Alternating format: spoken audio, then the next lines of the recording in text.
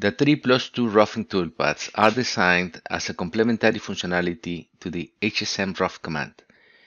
Having this manufacturing assembly with a mill window in the top of the workpiece, selecting the tool and click on axis control, you will notice two options, 3 axis and 3 plus 2 axis.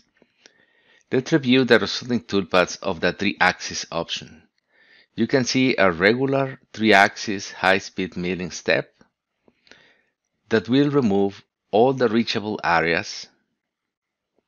Here in the material removal simulation,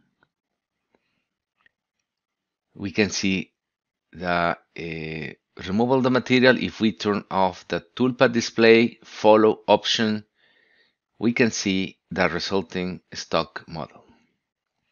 Now let's see the result of changing to the new 3 plus 2 option.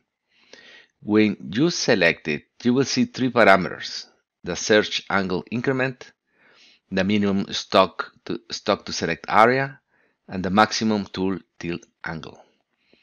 When performing material removal simulation, we will notice that in effect, we continue executing the roughing in three axes as usual, like in the example uh, before. But now in a in a single toolpath, you will see that the algorithm, the 3 plus 2 algorithm, is automatically detecting the machining directions with the minimum orientations necessary to reach all the object. It will perform automatic collision checking and all the system requires is the tool definition and the stock and the part as input.